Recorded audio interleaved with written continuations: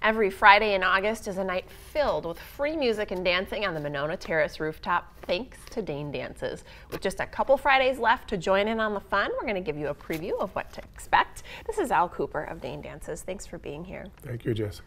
So much fun. Boy, Dane Dances is such a joyous event for folks of all ages. For people who haven't been yet, give them an overview. Well, Dane Dances uh, put on dance concerts uh, every Friday night in August to try to bring the community together to help improve race relations. Yeah, and you do such a great job of making it such a fun event. Feels very, very inclusive.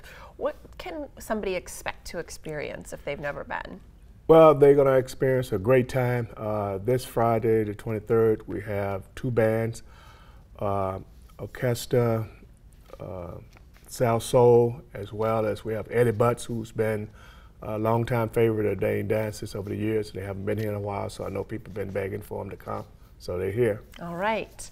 You got a lot to remember. Lots of things, lots of coordinating bands, events, DJs, food, so much to do. Now, one of the things that I think is so impressive about the event is that it's free.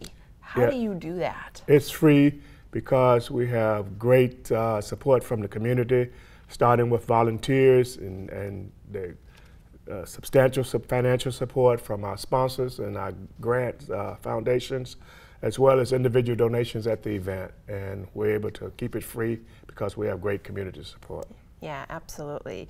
Uh, also, it's so nice that you have volunteers that are there greeting people as they walk in to just add to that inclusive feeling. So this is, as we say, a family-friendly event, but you can come by yourself, meet people there, and just enjoy a, a really nice community event. Let's talk a little bit about the food and drinks and how that works for people. We have a full service cash bar, but we also have uh, ethnic food vendors which from Venezuelan type food, Cambodian, as well as down home southern cooking, and we have Lake Vista Cafe uh, from Monona Terrace Catering as well. Really good food, lots to eat, lots to check out.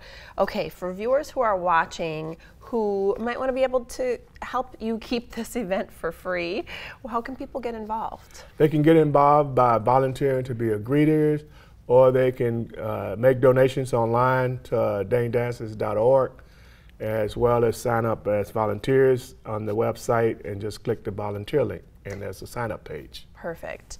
And or a business owner watching that might want to sponsor. I know you are so appreciative of sponsors. We are, and there's a sponsorship packet online as well on the website, or they can contact uh, me, which is the number that's on there and I would follow up with them. Yeah, great way to get in front of the community and, and be a part of it, a wonderful event. And let's close on that note. So the fact that this community has been so supportive of this effort really says a lot. Yes, it does, and, uh, and it really speaks volumes of what Madison is all about.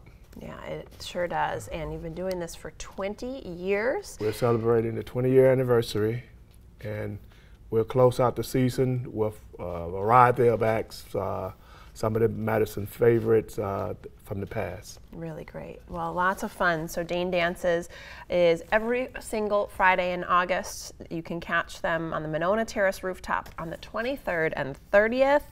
Great dancing, concerts, friends, totally free for the whole family. Thank you so much for sharing. Thank you, Jessica. And congrats on right. 20 years of success. Thank you. I want to thank all of our guests for joining us today. Of course, we thank you for watching. I'm Jessa Jeremiah. We'll see you next time on Talk Wisconsin.